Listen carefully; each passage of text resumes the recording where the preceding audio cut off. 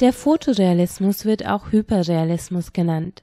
Heute stellen wir Ihnen zwei Vertreter dieser Kunstform vor, Zhou Yaorui und Chen Zhaohong.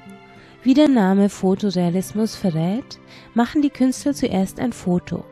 Dieses projizieren sie daraufhin auf ihre Leinwand, bevor sie es extrem detailliert nachzeichnen.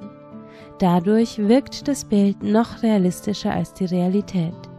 Diese Kunstform ist in der modernen Kunstbewegung in den 70er Jahren in New York entstanden.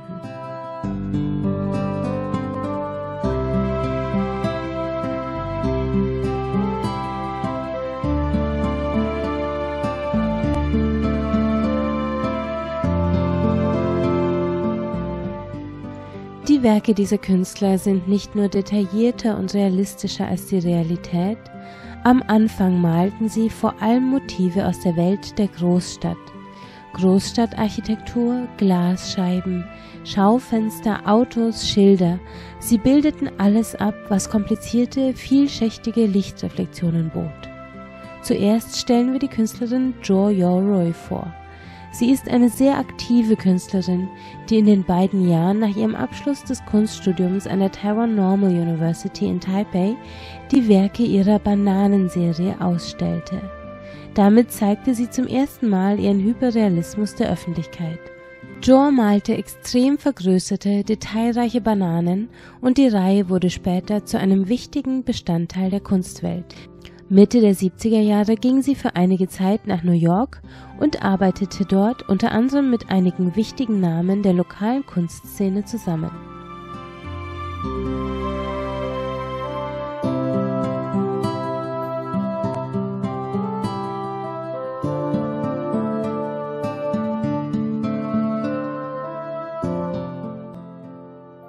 Der Hyperrealismus ihrer Kunst zeigte sich neben der Bananenserie auch in einer späteren Serie mit dem Titel Wand.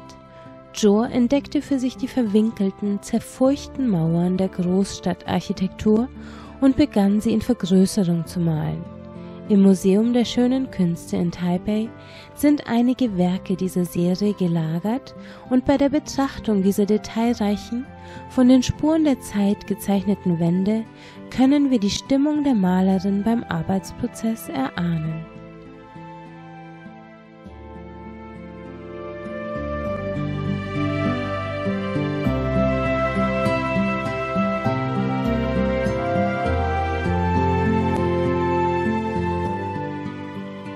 Nun stellen wir noch Chen Zhaohong vor.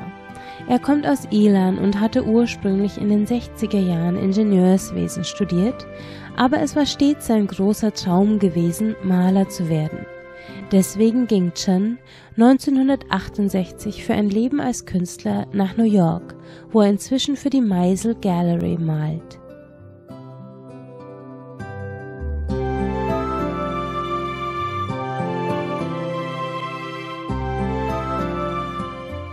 Sehen wir uns seine Werke einmal an. Die meisten sind mit der Farbsprühpistole gemalt.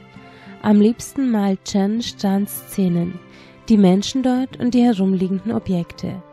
Mit einer Mischung aus Paintbrush und Zeichenstift malt er seine Objekte, besonders die weiche Haut von Frauen, die feinen Härchen darauf und die Schweißperlen.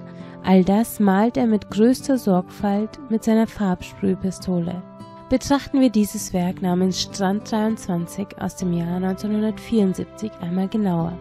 Dann sehen wir, dass es genau wie ein Foto aussieht, aber in Wirklichkeit hat er es eben mit der Sprühpistole gemalt. In Nahansicht malt er ein Mädchen im Badeanzug. Etwas weiter weg steht eine junge Frau mit einem Badespielzeug. Dazwischen ist der Sandstrand mit feinstem weißen Sand abgebildet. Alles ist minutiös detailreich gemalt man kann das Gefühl der Personen am Strand richtig spüren. Man kann sagen, dass Chen Zhaohongs Fotorealismus wirklich sehr besonders und individuell ist.